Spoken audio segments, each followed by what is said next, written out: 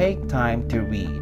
When asked to comment on a post, take some time to read through each of the previous discussion post responses before writing your own response. And 10. Think before you type. What you share in an online classroom becomes part of a digital record. I hope that you observe these guidelines to help you in your online learning. May you have a wonderful school year. Ayan, so good afternoon class. Ayan, magandang hapon po. Ayan, mag magandang hapon sa inyong lahat. Am I loud and clear? afternoon, sir. Am I loud and clear? Yes, Yes, sir. Parang may naka may naka dun sa buhok. Ano pa yan?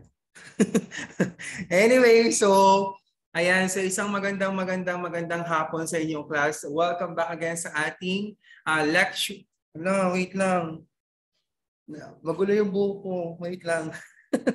anyway, so yun lang naman ang ano. Ayan, so kamusta ang inyong Holy Week? Ayan, kamusta ang inyong Holy Week? Konting ano lang, konting konting kaganapan sa mga buhay-buhay. Tayo ba ay nagnilay-nilay sa ating mga uh, kasalanan? Char. Hindi, may, I mean, uh, kamusta ang inyong Holy Week? Ma okay ba? Okay naman ba? You can use the chat box, no? To eh may nakausli nga kanina, si ano si Jessa. May nakausli nga dito kanina o oh. Ewan ko ba dito sa ano, sa naggupit ng buko, bakit niya pinausli yung kabilang side. Anyway, so ayan, so balik tayo sa ating ano, kamus ano, uh, discussion natin.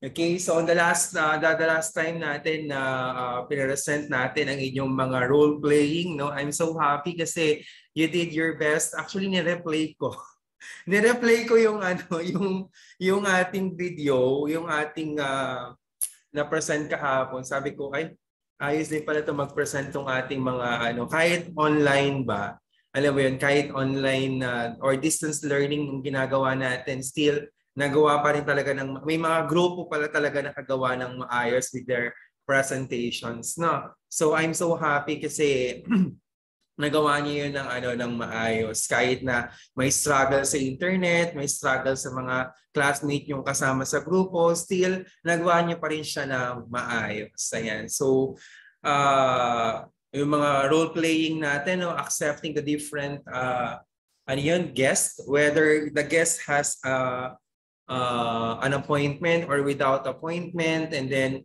uh, kung paano kayo gagawa ng uh, appointment sa certain kind of company or people okay, na pinapa-appoint sa inyo ng boss. That will be ano eh, ano yan eh, magiging, uh, magiging base niya yan pag nagtrabaho na kayo uh, sa amin, nung parang trabaho na kayo sa real world, no, uh, you will do those things. And uh, marami pa tayong, uh, actually we have uh, two more uh, uh, slides or points, no, uh, two more weeks uh, before we proceed to sa final exam nyo ng ano no ng ating OMS. So, yung final exam nyo pala sa ano nung, uh, nung I mean yung midterm exam nyo nakaraan. So, pina-stop ko muna kasi that that exam is for the finals. Okay, kasi uh, tinanong ko si Ma'am Susan about doon sa directions, bakit lumabas yung uh, exam na yon. Sabi niya, eh hindi pa dapat lalabas yung exam na yon kasi nga that for be for finals. Kasi nga we have only few uh, notes lang sa ating uh, FOP. So uh, dahil doon, so kaya medyo nag, nag medyo nag-slow ano tayo, nag-slug, okay, nag-slug movement tayo sa ating uh, klase kasi this this topic na susunod sa atin this will be the second to the last topic. So uh, medyo medyo kaunti lang yung pagkasamahan natin pero still it will mark no our uh, fundamentals or basic no uh, operations sa ating uh, uh, ating pagtatrabaho no it will help you uh, to uh, to finish no, the duties of a uh, certain uh, basic requirements for a uh, secretary. Okay, so let me now share my uh, screen. Ayan.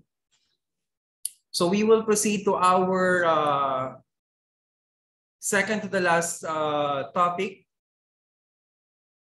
Asa na yun? Ayan, present. Ayan. Okay, so nakikita nyo ba yung aking screen? Nakikita nyo ba? Yan, na, na-view nyo na ba yung ating uh, ating notes? Hi. Opo, sir. Kulay brown, Kulay brown na ba yung screen nyo at kulay brown na? Yes, sir. Okay, Yes, so po. Okay, thank you. Okay, so uh, dito sa ating topic natin ngayon. By the way nga pala, no, segue ko lang. Meron pala akong sinense sa inyo sa ano no sa sa inyong Mio. Di ba no nakaraang linggo nag uh, nag-send ako ng uh, uh, parang magla-like kayo, magsa-subscribe at saka magko-comment ng inyong section at uh, uh, branches. No, kindly ano no, kindly do it. Then later part, uh, ibibigay ko yung ano, ah wait lang, wait lang. Punta kayo dun sa link para ano, mamaya mamimigay, mamimigay ulit tayo ng 50 pesos load. mamimigay ulit tayo ng 50 pesos load. So kindly go to this link and uh, uh, wait lang, stop ko muna yung ano, no? stop ko muna yung pag-share para makabalik tayo doon sa ano. Kindly uh, comment this word.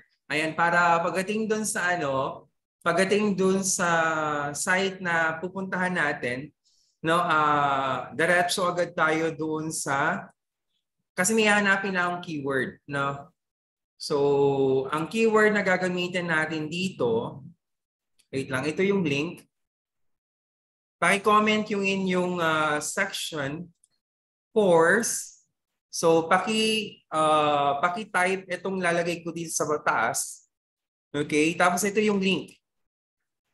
No, kindly comment this this word, three letters lang 'yon, three letters lang. Okay, then ito yung link.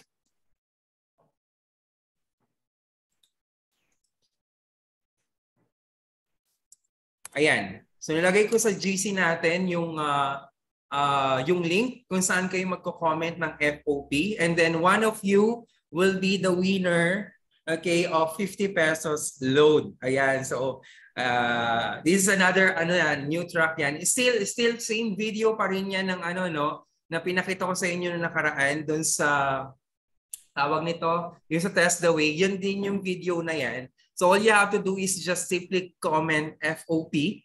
Okay, and then you just, uh, yeah, yun yung link na gagawin ninyo. And don't forget to subscribe. Ayan, so kailangan nakasubscribe kayo dyan. Okay, dyan sa, ano yan, sa link na yan.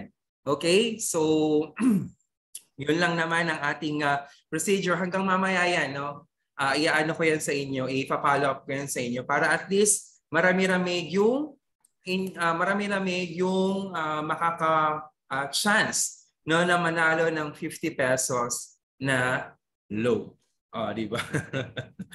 Ayan, so send ko na rin din yung attendance ninyo no para secured na kayo para sa sa attendance today.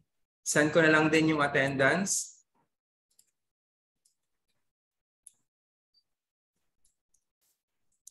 Ba't parang hindi na kayo nagsasalita? ayan. So, ayan yung attendance natin.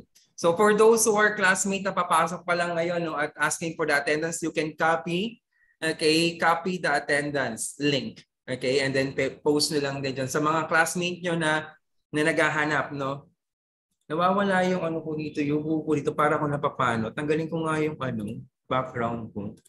Ayan. Kasi parang napapano yung ditong side mo. Okay. Hindi nga naka-ayos yung buhok. Sorry na.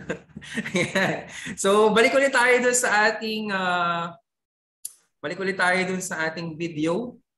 Uh, sa ating presentation, sorry. Okay.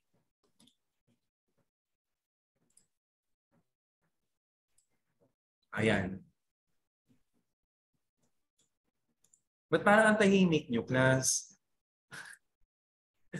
Hello? Narinig niyo ba ako? Hi, sir. Opo, sir. Opo, sir. Yes, sir. Okay, so our learning outcomes for today's uh, lecture, not for today's video, okay, okay, lecture natin ngayon is learning, no? Learning outcome natin is distinguish incoming and outcoming outgoing mails. So trabaho yan ng ating uh, mga secretary na, na, na, na, distract ako dito sa maliit na buhok na to. Wait lang ha. Na, na, ayusin ko lang siya.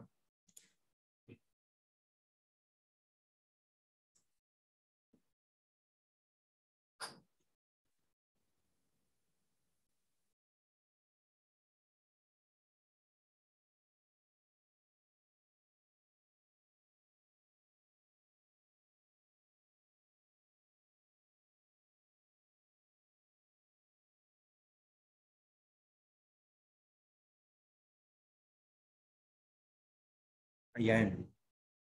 Medyo nadidistract kasi ako dun sa, sa, sa book. Hindi ko alam kung bakit kasi bumababa yung book ko.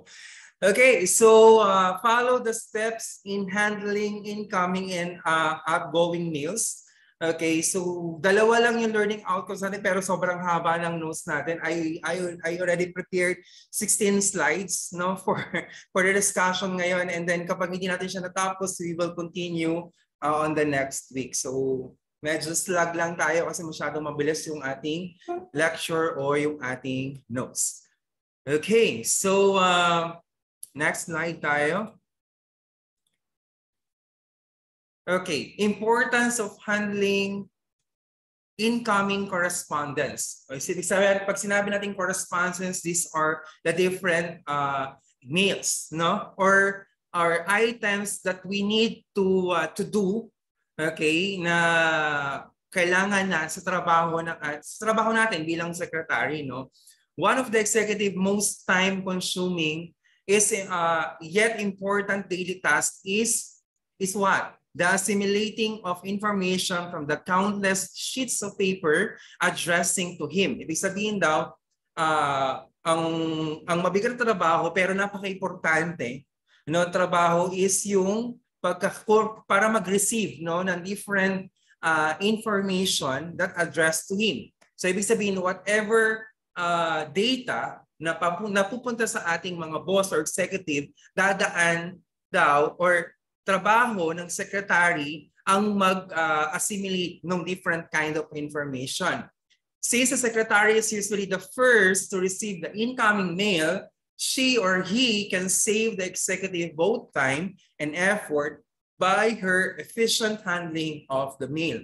Kasi ang different meals kasi natin, it came from different companies or people, okay, that uh, that uh, that that very important to our boss or ating mga managers or supervisors kasi yan kasi yung way of connection okay or updating the different details needed by uh, by our executive boss or the owner of the company. No? So, trabaho natin bilang secretary ang mag-receive no ng incoming mail. Okay? So that he will save time and effort and mas marami siyang mas magawa okay in the company. And syempre, magandang opportunity yan sa atin kasi we can also establish communication no, to our boss and to other people okay, within the environment. No? So kaya importante sa isa mga skills ng uh, 'di ba? Pinag-usapan natin 'yan in the first weeks that we had uh, the important of uh, I mean one of the skills that the secretary should have is the communication skills, the organization skills, no? And uh, the different uh, skills na pagkikip ng mga records. Importante yan.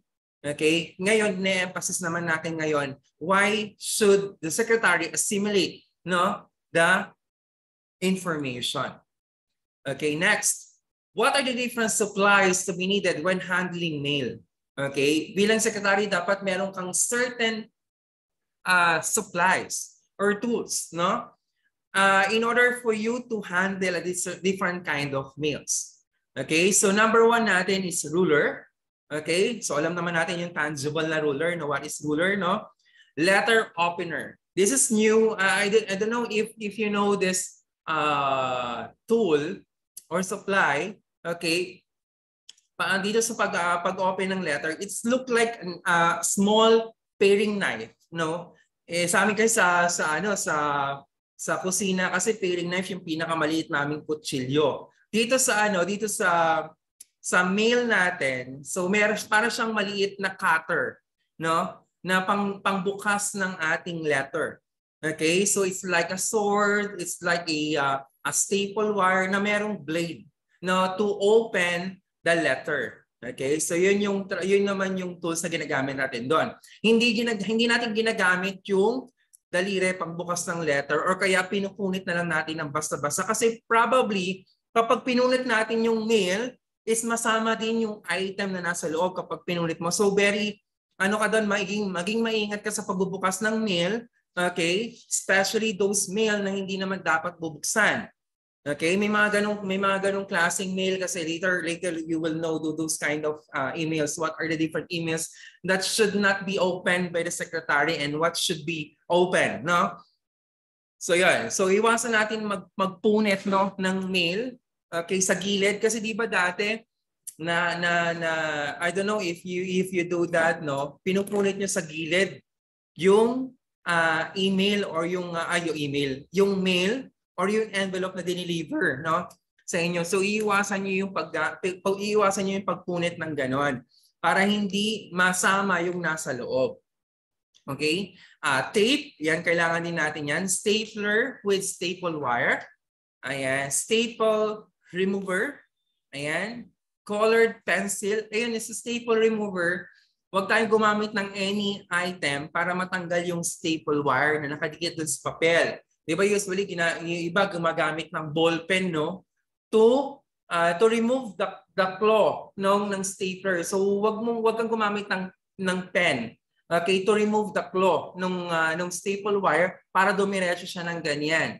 Okay? You need to get a staple remover kasi that's what that's that's uh, supplies, no? Needed 'yan ng ating uh, mga secretary or sa mga office personnel. Okay, colored pencil or pens. Ayan, so kailangan yan. Okay, paper clips. Okay, yung iba gumagamit ng ano, yung ano yan, yung yung kulay black, no, na clips. Okay, folder. Okay, mark by incoming calls. So yun daw yung folder na, kailangan, na nakalagay is incoming not calls, mails, no? Date or rubber stamp Ayan. So, itong date or rubber stamp na to, ito yung ni-stamp doon sa uh, papel na naglalagay ng mga dates. No? Okay? And stamp pad. Ayan. That uh, having the, the, the word received. Ayan. And date and time and signature. Ayan. May mga ganun kayo makikita ng stamp pad or stamp. Sorry, no? Medyo umilit kasi sa area.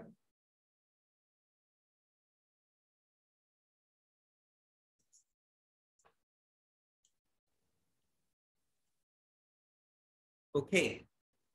So those are different suppliers na needed okay, when handling mail. Or those are basics, no? Uh, tools or supplies na dapat meron tayo okay, sa ating opisina. Not just uh, uh, pen paper, mga ganyan. That's, that's uh, common na sa buong, ano natin, sa buong organization natin okay, ng ating gamit. Okay, so now we will proceed to different categories of mail. Okay, so we have uh, four categories of mail. Uh, personal mail, priority mail, general business mail, and bulk matter category. Okay, so those are different mails okay, na ma makikita nyo, madi-discuss natin later part. Okay, so let us first define the personal mails. Okay, guidelines, okay, to open, no? Or to not open, okay, the different mails that we have. The personal mail which is not be open. So dapat hindi natin binubuksan ng mga personal mail kasi that is directly uh, go to our bosses or supervisor, supervisor or superiors. No, it should be not open or should not be not open. No. Okay, so wag na wag niyong bubuksan yung mga personal mails na yan. Okay? Mamaya kapag kapag nabuksan niyo siya, gagawa kayo ng letter. Okay? Kapag na-accidentally, hindi niyo naman hindi niyo naman napansin na nakalagay pala doon, nakalagay pala doon is personal mail, no? Pag open mo to Mr. ganito ganyan ganyan, your blah blah blah blah blah nakalagay sa loob, no? So pag pag mga ganong klaseng mail na hindi naman natin sinasadyang nabuksan kasi part kasi natin na binubuksan dapat yung mga email, all you have to do is you need to create a letter. Okay? Letter apologizing that accident uh, that na naubuksan yung mail accidentally and kailangan mo ulit siyang i-tape. Okay? So, ilalagyan mo siya ng scotch tape or ididikit mo ulit siya na parang selyado ulit. Okay? Pero syempre, mapapansin nyo ng iyong boss or supervisor no, na bukas yung email. So that's the time your letter okay, indicates that you are accidentally, or I mean, you accidentally open the personal mail. Okay? So yun lang yung procedure na pwede nyo gawin. All you have to do is to write a letter. Okay? Na accidentally nabuksan nyo yung mail. Okay? Na personal. Okay? Nakuha ba? Okay, next, another type of mail that we had is the priority mail, which is to be opened immediately. Okay, the type of service used by the sender, by the sender is one clue to priority mail. Mayroon siyang tatak na priority mail. Okay, so pag sinabing priority mail, then it that is the word from the word priority, no? You need to prioritize that kind of mail. Okay? Uh, and uh, it includes, okay, telegram, registered mail, airmail, issued mail, special uh, special delivery certified mail. So yan yung makikita nyo dun sa mail kapag priority siya or under siya sa category ng priority. The other items that are considered priority, okay, are those marked with rush, personal, and confidential. Okay? So pag may mga marks sila na ganyan, so it, it goes to a category of priority mail. Any telephone message or mail that you know your boss is eager to see should be treated as priority mail. Sabi, sinabihan ka ng boss mo, oy mag-email si JIST sa company natin. Uh, pakisabihan ako kapag nandyan na yung mail. So automatic yon kahit wala siyang sina kahit wala siyang nakalagay na mark na rush, personal, confidential, or kaya priority mail, but the boss is asking you, okay, to uh, to to send ASAP the the mail na sinend ng sa ng GIST, then it should be treated as priority mail. Okay? Kasi inaabangan na yan ng boss mo, inaabangan na yan ng may-ari ng company or ng supervisor mo or ng manager mo. Okay, then it should be categorized as a priority main. Okay, do you get my point? Yes, sir. Okay. Yes, sir. Yes, sir. Okay, another, uh, ay, sige po. Ayan, another guidelines that we had is the general business mail. What is this general business mail? relating to an office operation which is to be open as soon as possible. General business mail includes orders, remittances, inquiries, inter-office memos, and invoice report. Okay, so that, that kind of mail, okay, are what you call general because it's it, it, it is not just uh, specified to one person, but is is uh, but is uh, conducted by a general department, the general informations or general persons. Okay, concerning to that kind of mail. Okay, kagaya ng example natin yung mga orders. Okay, orders probably uh, for example sa hotel, no? Uh, pag nag pag nag pag nag uh, kapag nag uh, post ng mail ng orders, Probably it came from the housekeeping department, from F&B department, from engineering department. So it concerns everyone. So that's what you call general business mail. Okay? It concerns not just one person, not just your boss, but the other departments or persons within the company or uh, uh, departments or organizations. No? So that's example ng general business mail. Okay, so it, it is uh, categorized okay, into uh, open as soon as possible. Not just, hindi naman siya sinasabing uh, same like priority, no?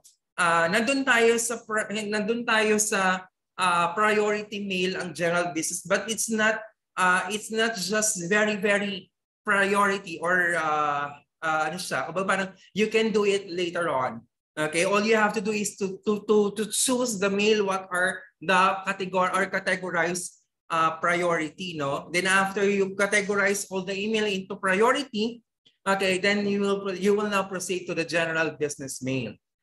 Okay? So the next uh the next uh guidelines is the bulk matter category. What is this bulk matter uh category? It includes what? The newspapers, books, magazines, circulars. Pag sabing circulars, these are letters, no?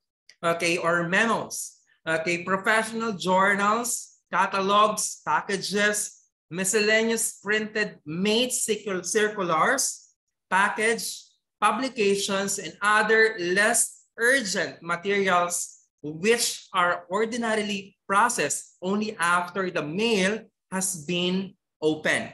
Okay, ito yung ang itong sinasabi nating bulk matter categories uh, example to ng uh, pag sinabing bulk, so syempre marami, no?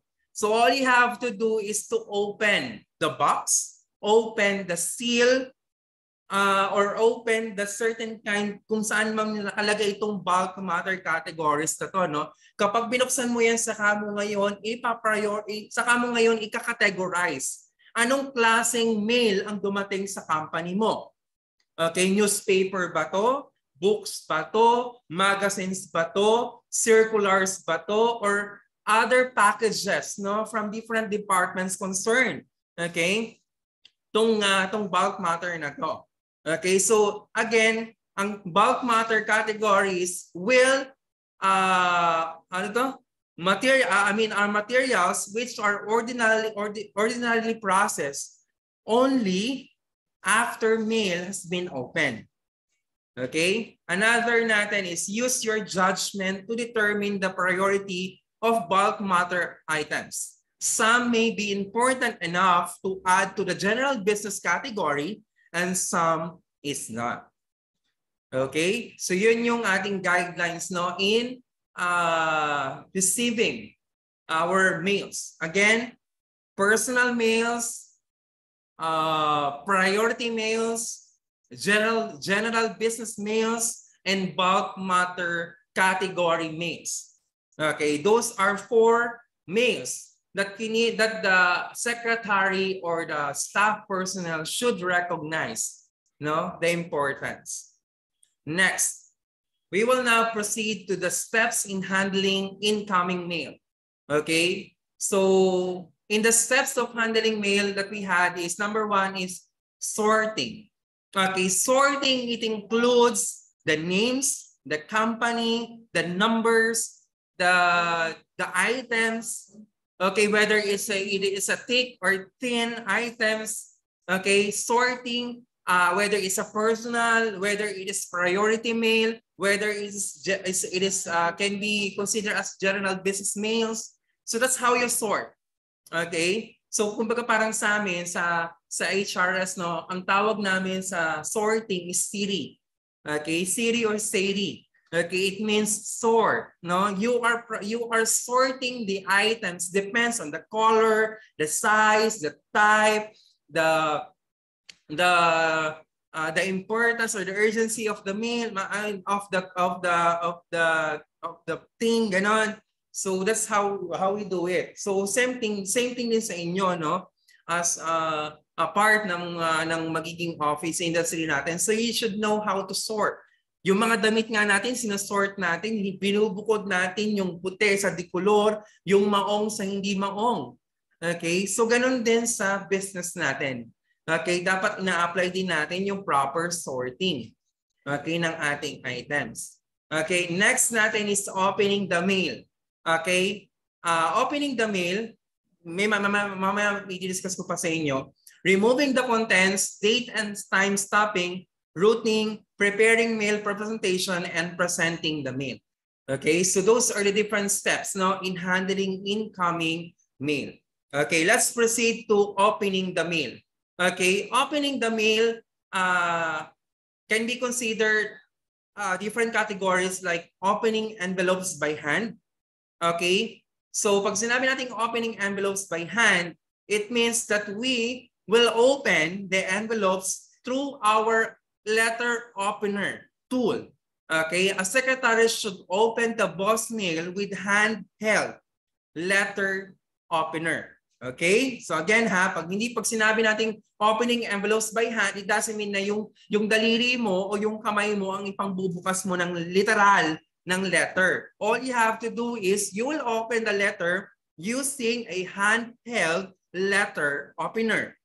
Okay? Baka mamaya gupitin, uh, ano yan, uh, punutin mo na lang yan by hand. So it doesn't mean like that, no? Okay, another is opening envelopes by hand can be speed up by stacking the envelopes face down.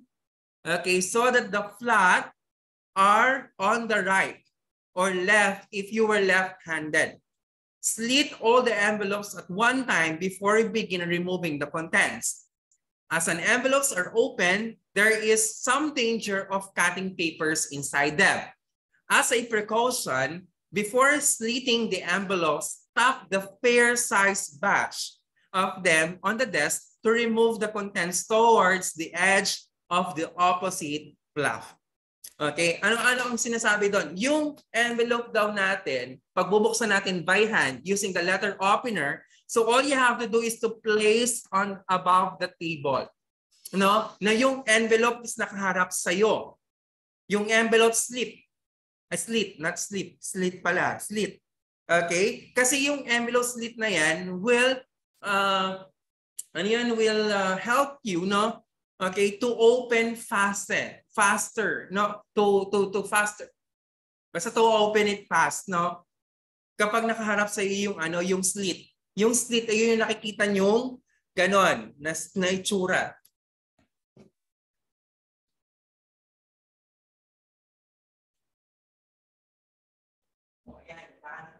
envelope. Ayan. Naghahanap ako ng envelope. Ibig sabihin, itong slit na to, ewan ko nakikita ninyo sa screen, nakikita nyo ba? Itong slit na to, itong tinawag natin slit. Ayan, ito, to, to, to, to. Dapat nakaharap siya sa iyo. Then, saka mo gagamitin yung letter opener, okay, to open the slit. So, pag right-handed ka, sa right side ka mag-start. Kung left-handed ka, sa left ka mag-start. Then you should be careful using the letter opener. No? Again, using the letter opener is like a cutter. No? Dahan-dahan kang mag uh, bukas ng letter. So you will just simply strike okay, yung slit. Yung slit lang ang bubuksan mo. You don't need to cut. No? Hindi mo kailangang i-cut yung slit. Huwag mong i-cut yung slit. All you have to do is to open the slit. Okay? Bubuksan lang tong slit na to. Hindi mo siya i-cut. Okay? Nakukuha. Okay, so that is the, the, the procedure in opening envelopes by hand. Okay? The next one natin is opening envelopes by machine. Okay? Pag sinabi nating machine, meron kayong paglalagay ng letter, then nahayaan mo lang si machine na magbukas ng letter. Usually, ang ginagamit noon is kinakat niya yung, yung dito sa may gilid o kaya sa ibabaw na ng machine na yan. If you are required to open a large volume of incoming mail, you may use the office letter opening machine. Especially pag sobrang dami ng mail, no? Like for example, isang malaking isang isang malaking box na yung nakaharap mo, no? So all you have to do is to use the machine in order for you to open the envelope.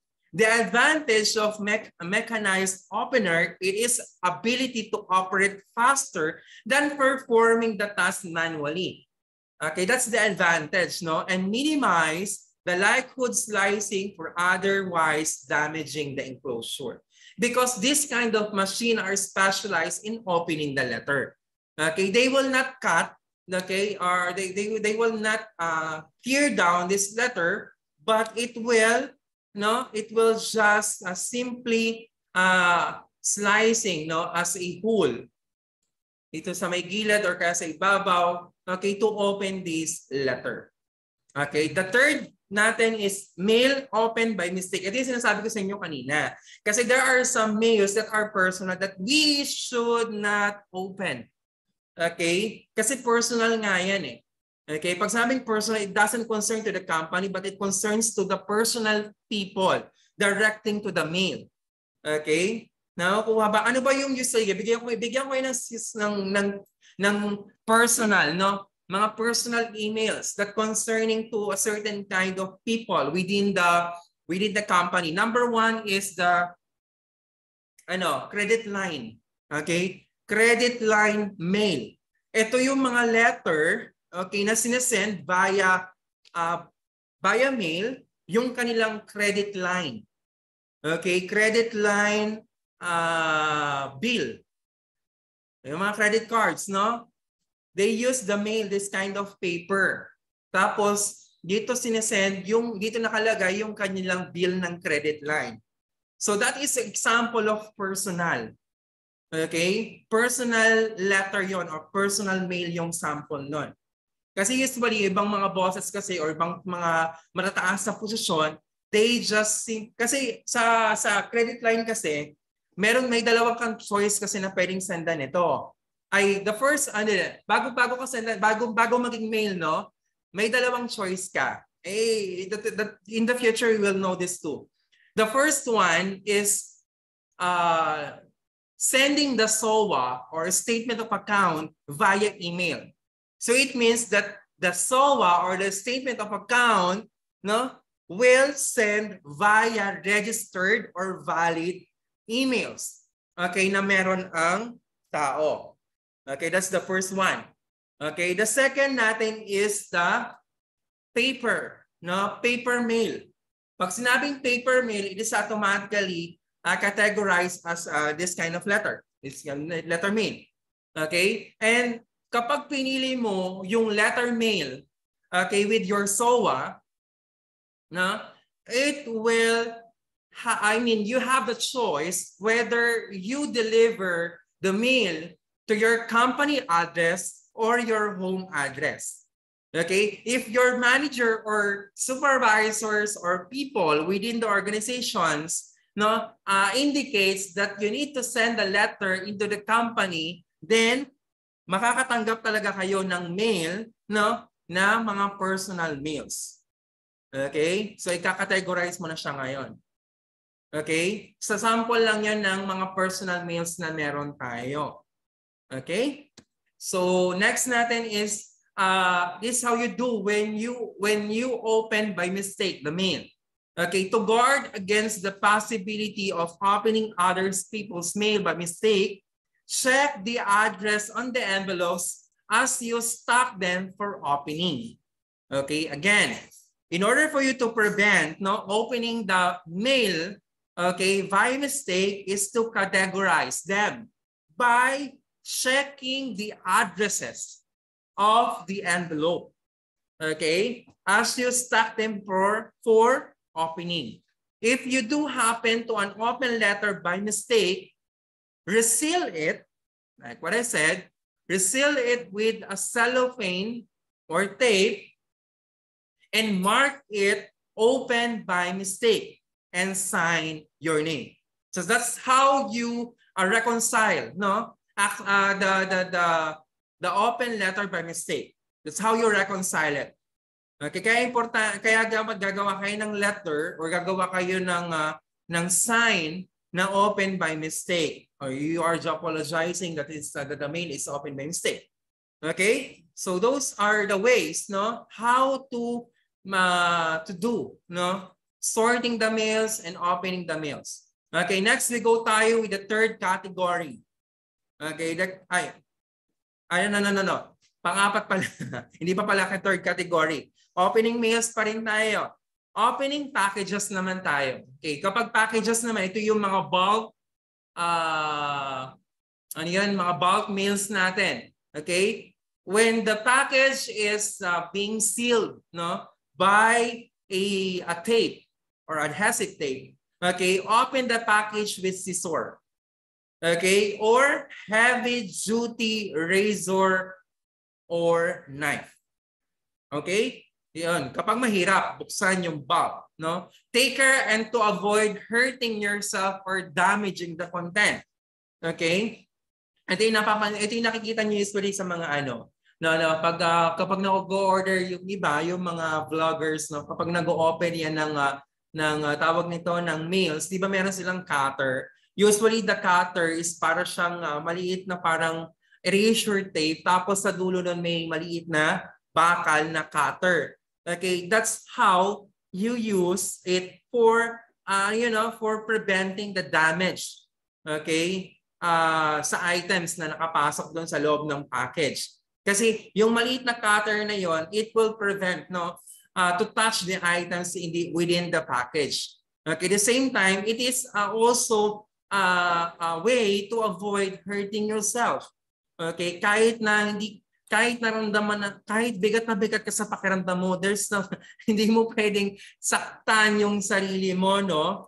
Okay, 'di ba? Usually pag nag-self-pity tayo, we want to die, 'di ba? We want to hurt ourselves. Yung iba, yung iba nag-ano pa, nag yung iba nag nag-ano yun, naglalas-las pa kasi nga uh, you feel you feel that you are not worth, no? For something uh, for for certain kind for certain cause that being hurting you. So syempre, kapag dating sa package, okay, so iingatan mo rin sarili mo na dapat hindi ka rin masaktan, no? Kung yung company sinasabi sa'yo, wag kang wag ka dapat okay, sa klase natin, okay, sinagsasabi na avoid hurting yourself, same thing with your personal issues. Dapat i-avoid mo rin na masaktan yung sarili mo. Okay? okay, kasi there, the number one uh, the number one love that you will establish to yourself in order for you to take care of yourself is to not hurting yourself. Okay? Kasi kapag kapag sinasaktan mo 'yung sarili mo, so it means you do not love you do not love yourself. Okay? Hindi mo mahal 'yung sarili mo. Okay? Nakukuha ba? Okay, so kaya wag kaya wag mong saktan 'yung sarili mo kasi it is a kind of self-love. It's a kind of love. It's what you call the self-love. Okay? So kahit na anong pain, huwag mong sasaktan sarili mo. Ba't pa tayo napunta doon? Okay, next. Ay, sorry, sorry, bumalik, bumalik. Ano, na, na next na. If a letter is enclosed with a package, okay, place it with a general business mail. In order to identify the contents of the package, cut the mailing label from the outside wrapping and to attach it to the contents. Okay, kasi kapag mag-ano tayo ng mail kasi may form yan. Okay, later you will see the form, no? A sample form kung uh, yung tinatawag nating routing routing mail. Okay? Uh, makikita niyo yung sample ng letter natin mamaya. Okay, personal mail. Do not open personal mail, mail unless you are authorized to do so. Okay? Again, do not open personal mail unless you are authorized to do so. Okay? Identified by the word personal or confidential. On the type of envelope, if you open a personal letter in error, again, reseal it with the tape, mark it open by mistake, and sign your name. Okay, so that's how you do it. The next slide, inter-office mail. Pag sinabi natin inter-office mail, is a kind of mail okay, that are connecting or sending within the company or business. Okay, the inter-office mail is generally, generally received in reusable envelopes called the chain envelopes. Okay? Ito yung for example, na-receive mo yung, uh, for example, na sa inyo, sa amin, no? Sa GIST. The inter-office mail example, like you are uh, applying for uh, TOR or OTR, the official transcript records or transcript of records, if you are if you are applying for it, no, from your branches, it will it will go to a uh, inter-office mail. Kasi pagpunta niyo sa mga branches ninyo, nag-sign kayo ng request ng request okay to to to have a TOR or OTR, no? After receiving the after receiving the request, it will now proceed to the registrars, which is uh, the different uh, uh, personnels okay within your branches. Sila mag-aayos ng inyong uh, kung meron na kayong 4137, kung meron na kayong birth certificate, kung meron na kayong complete grades, ayan. Ngayon kapag kapag within that process no nagkaroon ng uh, nagkaroon ng lacking ng evidences na na pwede kang mag-apply for TOR, they will send you a message. Nasabi for example, Ma, uh, Miss Jenny, paki-submit naman yung yung birth certificate before we process no the TOR or the OTR. Okay? Then after that, it will put in a certain kind of envelope. And then that envelope, kapag okay na lahat ng information, the envelope will go to different branches where the, the registrars uh, or the personal, the, the, the Miss As, the Miss Acid, or kaya si Mr. Jose Montenegro and the secretary of the school sign no, your request that you have released or requesting the okay, requesting the the document, certain kind of documents. That's how you do. That's how they do. They do it. No, uh, that's good. That's how they do it. That's what you call a, a kind of inter-office mail. Okay, the other one around kung nandun ka na sa ano, doon ka na sa mismong company, no? Uh, when you are in the accounting department, when you are in the accounting department and you are needing to sign a certain, uh, you need you need the different sign of the certain kind of people, you will place it into a single uh, envelope, uh, envelope okay, that can, that will be, uh, that will proceed to, for example, like, uh, pupunta siya sa procurement uh, procurement department, pupunta siya sa sa ano pa bang mga de- department ng accounting natin? Uh, procurement, uh, uh, quality control, mga ganyan. Or kaya uh, sa sa, sa uh, Department of Approval, mga ganyan. So may mga ganong klase. Pag sinabi accounting kasi hindi lang naman hindi ka lang naman basta-basta pag-receive at sa kapag uh, pag-receive or paglabas ng pera, no? Dadaan pa yan sa mga bosses, sa mga sa mga mga supervisors if they allow your the request certain kind of documents, no? That's how you do it. So inter-office mail lang yan. Within the within the office lang yan. Within the within the company mail. Okay? So if one is sealed, open it carefully. So, ano daw? So that the envelope can be reused, no? If the enclosed items is a letter of a memorandum, place it with the first class mail. Okay? So, memos. What is memos, no? Ang memos sa memorandum, these are letter, okay, from the top management going to their subordinates or even to the ordinary people. That's the example ng memo or memorandum. Okay? It is it, it is an information, a detailed information from the top management going to a lower department or a specific person. Okay? So yan yung, yan tinatawag natin mga memorandum. No, kapag ikaw nagkaroon ka ng personal memorandum, ibig sabihin meron kang ginawang hindi maganda. okay? Or meron din naman, or hindi naman, I mean, I'm not saying all the memos are bad. All the memo, the all the mem, uh, most of the memos are negative. No. Okay? There are memos that are for the benefit of the every employee and there are memos no directing to directing directing to your performance. No? In the per, in directing to your performance, that kind of memo either appraise you or uh, warning in, war, or ha, giving you a warning. Okay? Yun yung dalawang memo kasi na pwede mong receive person, personal, no? Okay? The the the per, the, the appraisal memo and the the ano yun? Ano sabi ko kanina, the warning memo. Okay? Usually kapag warning, ito yung mga awol, yan yung you are you you are taking your absent without official leave. Mga ganyan tinatawag nating awol, no? Okay? Awol uh, stands for absence without official leave. And if, uh, if, if if there are if you do it more times, okay, it they will give you a first warning memo no that that uh, continuous uh, number of absences will uh, suspend you for a certain uh, week or days without pay. So that's the first warning. May mga ganong warning, no?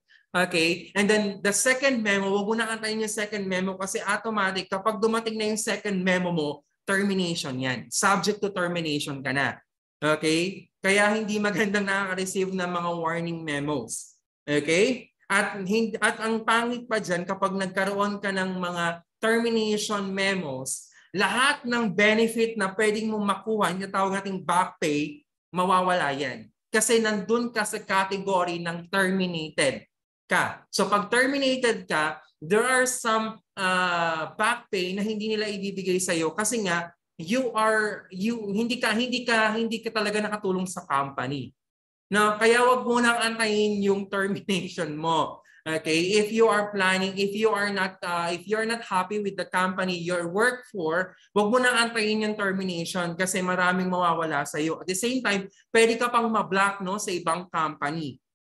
Okay? Especially if that company you applied for has a different sisters company within the uh, business environment, no? Kasi it it will it will contribute no to to what you call this yung hindi magandang status or employment status mo. Okay?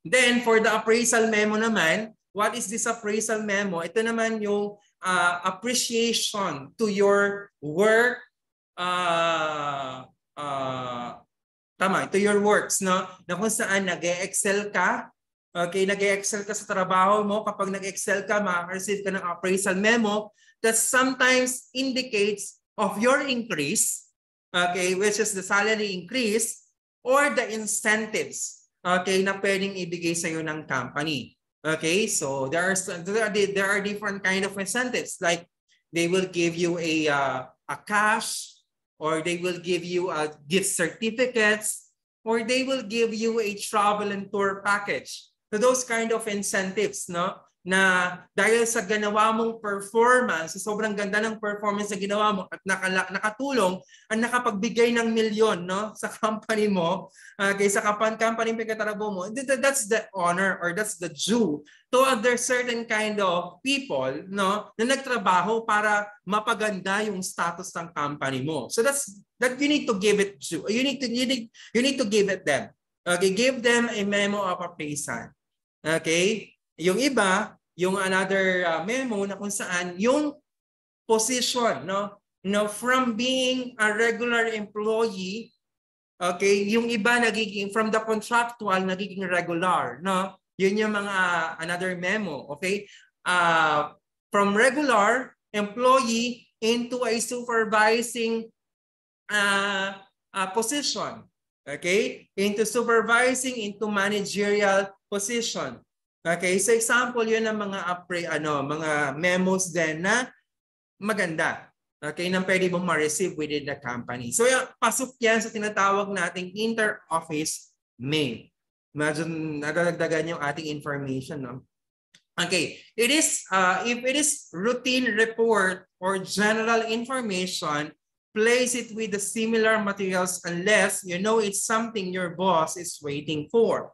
Okay? Doon sa category natin ng uh, inter-office. Kapag kailangan ni boss, then priority natin, bigyan natin kay boss. Okay, next we go tayo with the next slide. Ay. Okay, guidelines when removing the contents. Ayan. So, our mails are usually contains, uh, con, con, tama, contains with the letter, okay, paraphernalias, and cash. Okay? Possible yan kasi na pwedeng, hindi. Cash can be considered as gift check or checks. Okay? Iba ang gift checks sa checks ha. Ang gift checks is came from the other company that, that can be transferable into buying goods. That's the gift checks. Okay, for example, like yung gumagamit ng Sodexo, okay, ng, or SM uh, gift checks, sample yan ng mga gift checks natin. Pag sinabi mong cheque, it is a kind of paper okay, from an issuing bank.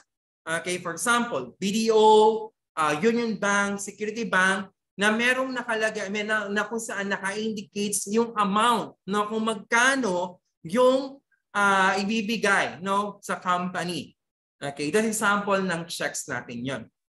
Okay? Special care must be taken care when removing the contents from the envelope, especially if that envelope is having the different the different contents. Yun din yung isang ano, isang avoidance natin. Parang hindi ata ang tama na siya. Para yun din ang isang avoidance natin kung bakit natin kailangan gumamit ng mga stools Okay, in opening the envelopes. What if cheque yung nasa loob ng envelope tapos bigla mong pinunit doon sa side? Eh, nasa side yung cheque.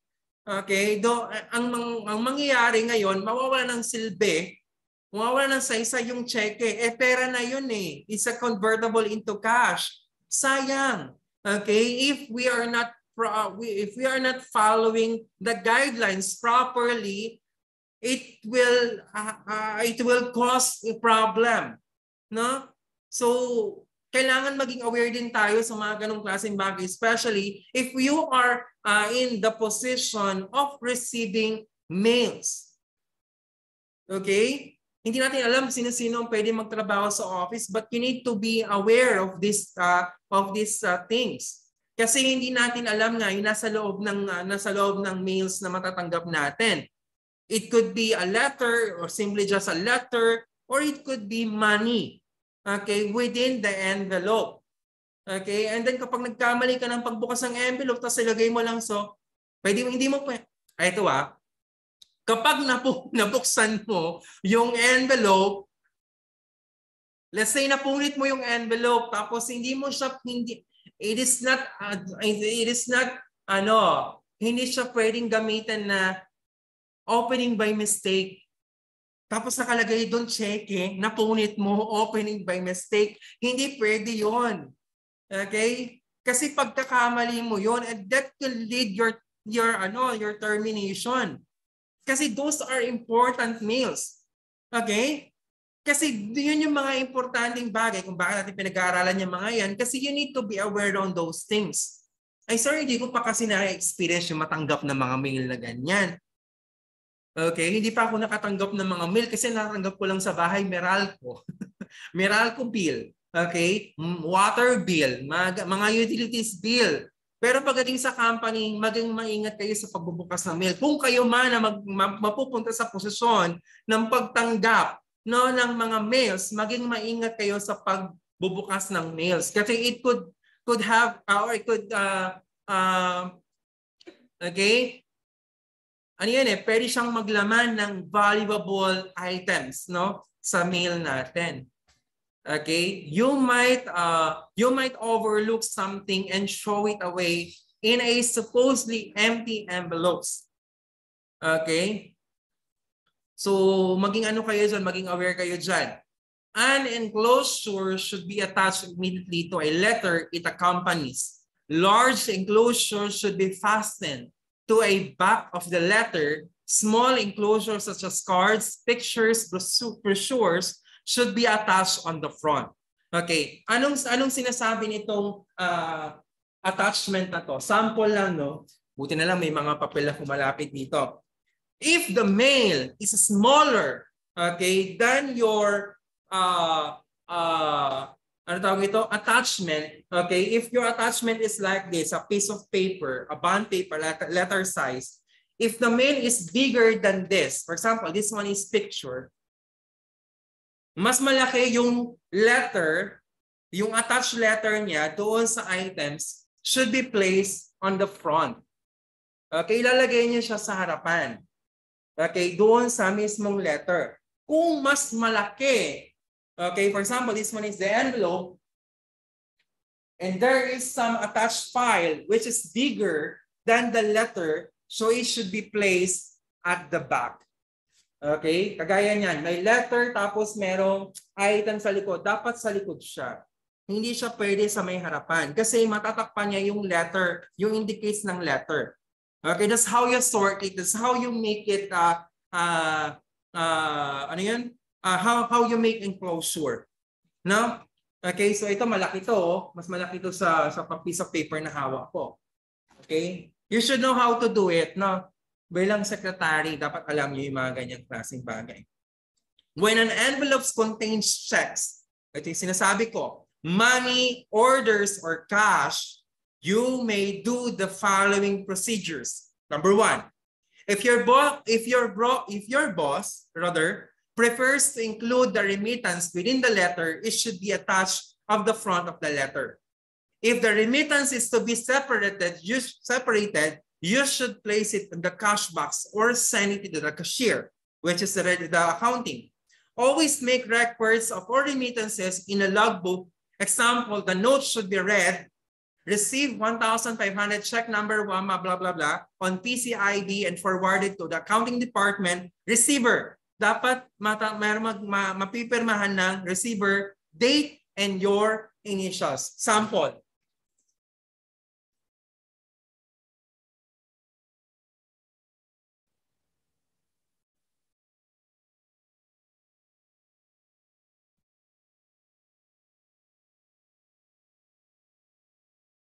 Ayan, I'm back.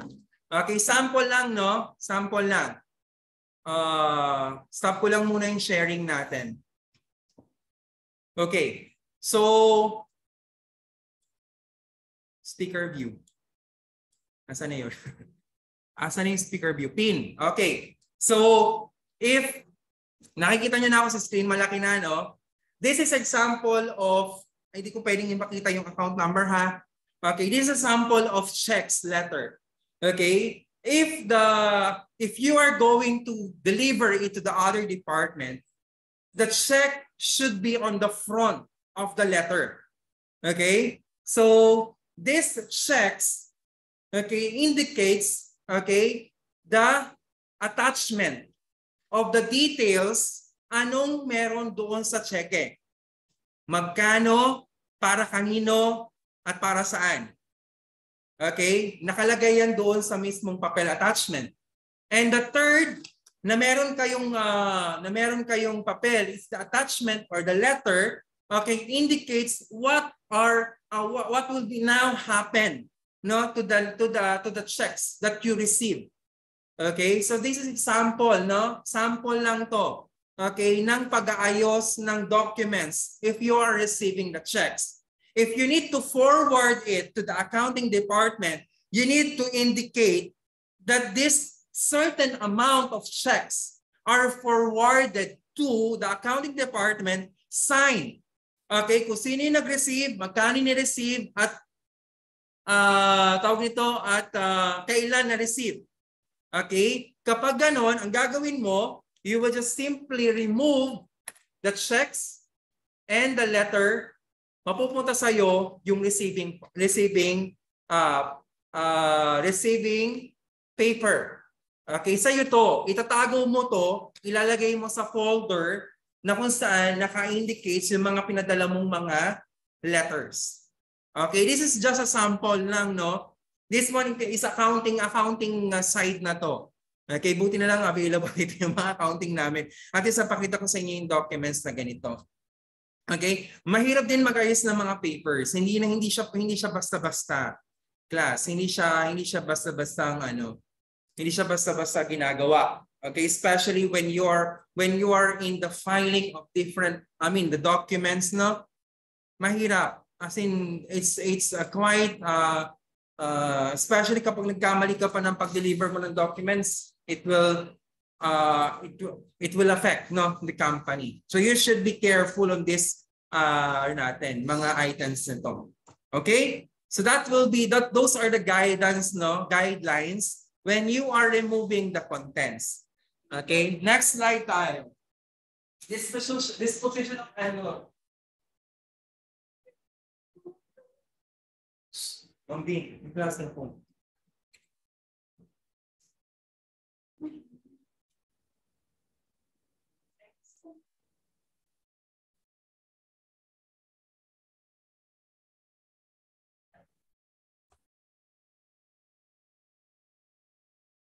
Okay, disposition of envelopes, no? Okay, pag sinabi natin disposition of envelopes, these are preparing, no? Your different envelopes. Okay? And you are keeping these envelopes, okay? The information, the details, or the any uh, any contents, no, from this envelope, okay? That can that that that, that this information is no longer useful. okay? But, okay, you need to keep this kind of envelopes.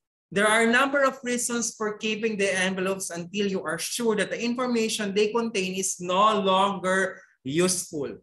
Here are some reasons why the envelope may be needed.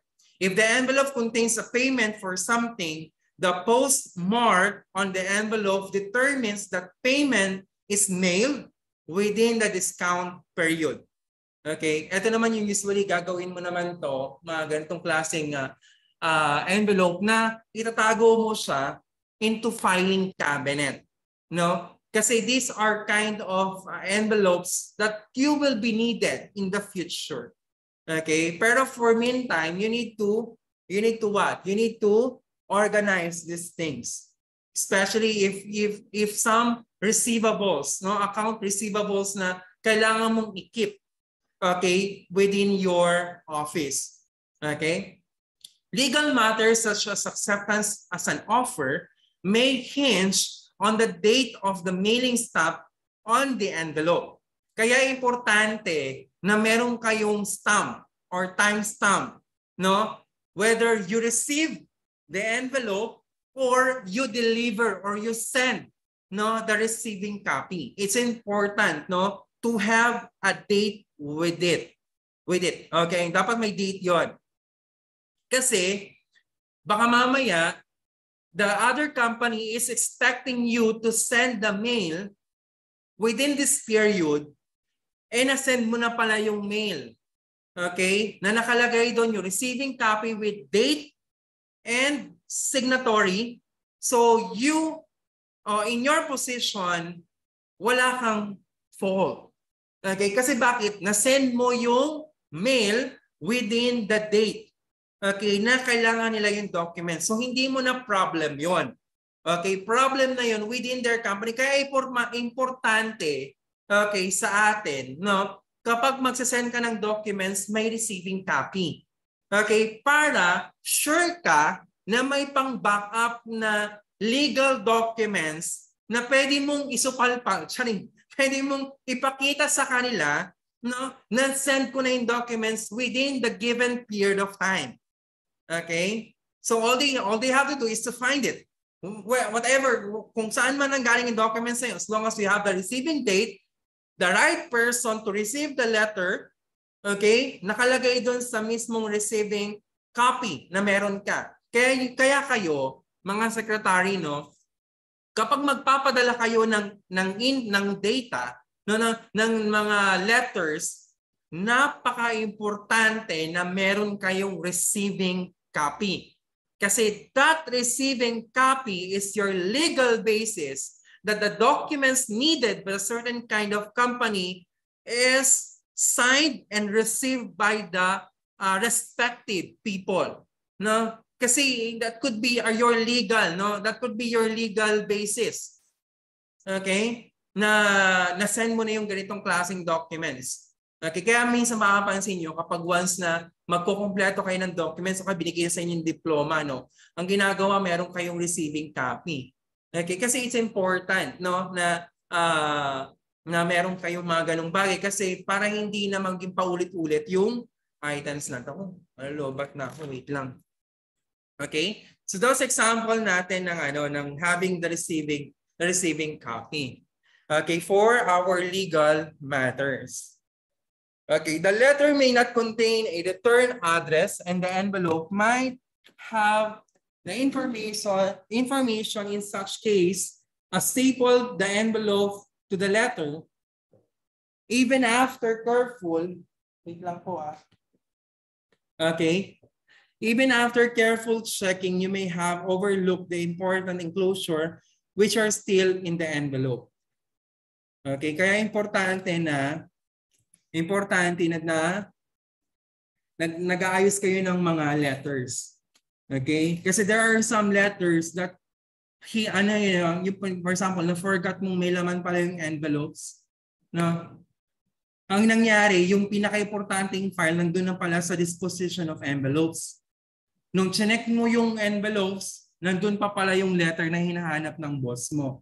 Kaya hindi ka pwedeng mag-dispose agad ng mga envelopes na na-receive mo through mail. Kasi that could be contained in the future, no references of the sender or the receiver uh, of information. Okay, or probably there are piece of paper okay that you forgot no to remove in the envelope and then for the future helps you will see it there.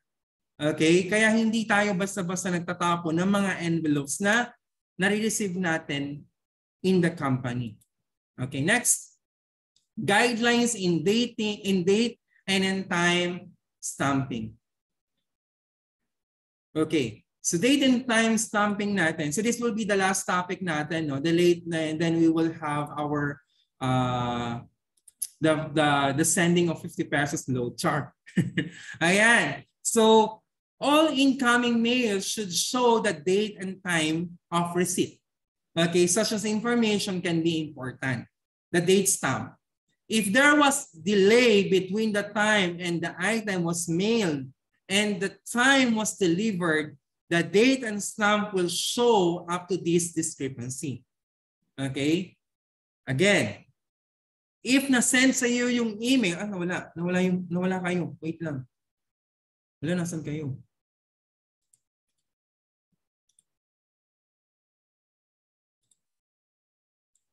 Bakit hindi ko kayo makita? Okay. Anyway, baka nandito lang kayo sa baba. hindi ko kayo makita. okay.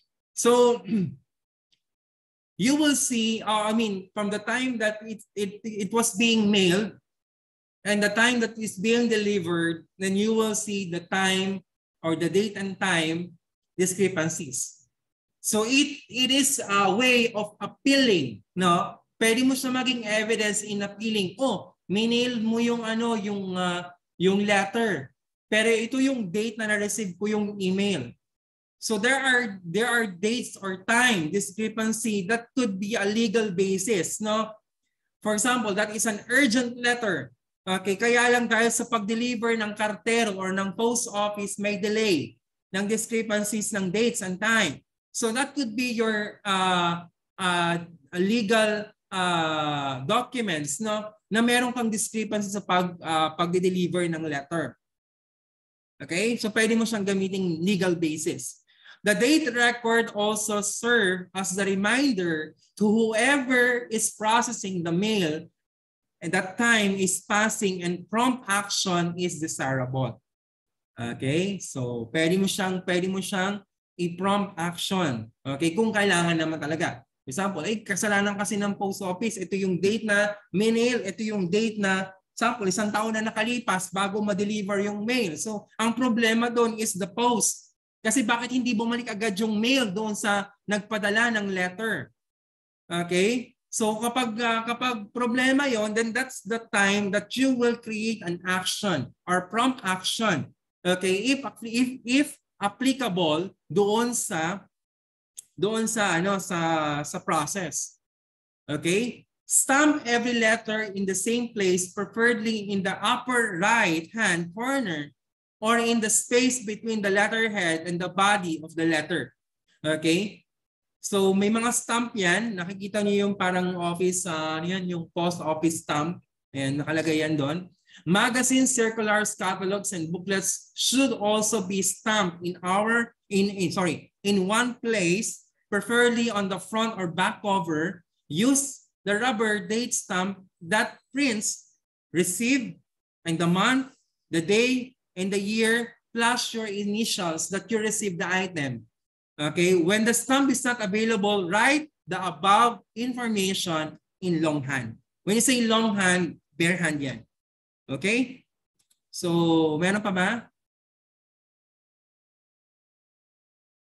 Okay, date stamp. Okay, date stamp natin. The time stamp, okay, exactly exact time that news is received is also important. 2 o'clock, 3 o'clock, 4 o'clock, 5 p.m.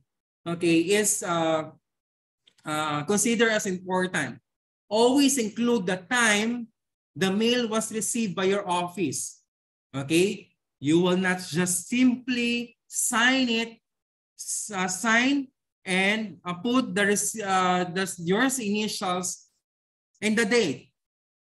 You also includes the time that the mail is being received. Okay? So information is useful especially in the processing of orders in maintaining customer credits record, guidelines, and routing mail. So the time, kasi di alam niyo naman minsan sa company kasi merong first in, first, uh, merong merong ano yun, yung first come, first serve. So if that, if syempre kapag nakanasin mo naman yung email ng 4.30, so hindi naman pwede siya yung mauna natapusin mo compared sa nag-send ng 2 o'clock. Okay? So example yan ng mga ganong klase. Kaya importante na meron kayong time. Okay? Na nilalagay doon sa pag-deliver or pag-receive ng mail. The routing can be done by attaching to them the routing slip containing the names of those who are see it. You would prepare such a slip as, as you process the mail and attach to it material to be routed so that the everyone in the organization who is concerned with the subject of the letter can see it. Okay, so ano yan eh, meron kang uh, routing slip. So this is example of routing slip. Okay? So sa routing slip natin, nakalagay yung sample, nakalagay yung routing slip yung yung uh, uh, category niya, okay, to and date. Sa date kalagay doon yung uh, time and uh, yeah, the date. Okay? So may nakalagay ka na to, then either rush, attend, information, comments, approval, signature, note and return, take up with me, and file. Okay? And then the date and then signature of the sender. Okay? Para maku para para uh, mas umikot yung tinatawag nating routing slip. Mapabilis siya at makapunta diretso sa mismong department or person uh, connected to or concerned to rather. Okay? So that's uh, that's example lang natin ng ating date and time uh, stamping. And that will be the post ng ating lecture uh, which is uh, we will continue on the next meeting Monday. Okay, so uh, any questions tayo? Any questions mo? Nagulo na yung buhok ko. Nagulo. Ayan, so okay, so we are 35. Dati nag-50 tayo, bakit ngayon 35? Bakit tayo merong ano, maraming absent ngayon? Ang yun na ba makinig sa akin? Ayan, for those who are listening to our recorded lines, no, you can uh, simply uh, comment no your names and uh, your name and branch where you are for and uh, to consider you as part no as, Lala kayo pag yung kami magkikabukan. Tiwala kayo sa akin. Ano daw, Ma'am Myra? Myra, ha? Ayan. So, and now we will now proceed to our uh, giving of uh, giving off 50 pesos load. Okay, 50 pesos load, ay, malaking bagay na yan sa atin, no? Okay, so I will not, uh, I, will, I will stop recording it, no, para at least for the sake of the data privacy of everyone. Okay, so thank you for, uh, thank you for having with me our your time. Dalawang oras, uh, isang oras, mahigit isang oras is very valuable to our uh, our lectures. Okay, to understand,